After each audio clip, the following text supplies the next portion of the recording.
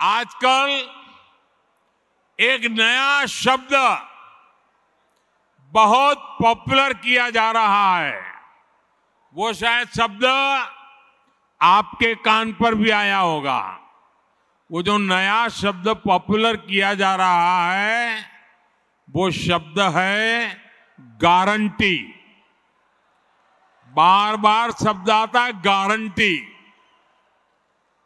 भाजपा के कार्यकर्ताओं की ये बहुत बड़ी ज़िम्मेदारी है कि लोगों को बताएँ कि असल में ये विपक्षी दल किस चीज़ की गारंटी है। जानना चाहिए ना भाई? ये विपक्षी सब जो है, वो किस चीज़ की गारंटी है? ये सारे लोग, ये दल गारंटी है भ्रष्टाचार की। ये गारंटी है लाखों करोड़ रुपयों के घोटालों की। कुछ दिन पहले इनकी एक फ़ोटो ऑप कार्यक्रम हुआ था। मिलकर के फ़ोटो निकालने का एक कार्यक्रम हुआ था। इस बैठक में शामिल दलों के इतिहास को देखेंगे तो पता चलेगा कि वो सब मिलकर के जितने भी लोग वो फ़ोटो में दिखते हैं ना एक एक को जरा देख लीजिए। उन सबका मिलकर के टोटल लगाएँगे तो ये सारे मिलकर के कम से कम 20 लाख करोड़ के घोटाले की गारंटी है।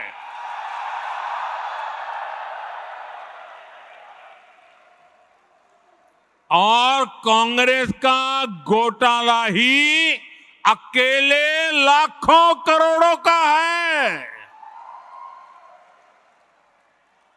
एक लाख छियासी हज़ार करोड़ का कोयला घोटाला, एक लाख चौहत्तर हज़ार करोड़ का टू जी घोटाला, सत्तर हज़ार करोड़ रुपए का कॉमनवेल्थ घोटाला शामिल है। दस हज़ार करोड़ रुपए का मनरेगा घोटाला हेलीकॉप्टर से लेकर सबमरीन तक कांग्रेस के घोटाले से कोई ऐसा क्षेत्र नहीं है जो कांग्रेस के घोटाले की हाथ का शिकार न हुआ हो। अब दूसरा देखिए, आरजेडी हज़ारों करोड़ के घोटाले का आरोप है। चारा घोटाला, अलकतरा घोटाला, पशुपालन शेड घोटाला, बाढ़ राहत घोटाला, आरजेडी के घोटालों की इतनी लंबी सूची है, अदालतें भी थक गई। एक के बाद एक सजा घोषित करती चली जा रही है। उधर तमिलनाडु में देखिए डीएमके पर अवैध तरीके से सवा लाख करोड़ की संपत्ति बनाने का आरोप। टीएमसी पर भी तेईस हज़ार करोड़ रुपए से ज़्यादा के घोटाले का आरोप। रोजवेली घोटाला, शारदा घोटाला, शिक्षक भर्ती घोटाला, गो तस्करी घोटाला और कोयला तस्करी घोटाला। बंगाल के लोग ये घोटाला कभी भूल नहीं सकते। अगर मैं एनसीपी की बात करूँ तो एनसीपी पर भी करीब करीब सत्तर हज़ार करोड़ रुपए के घोटालों का आरोप है।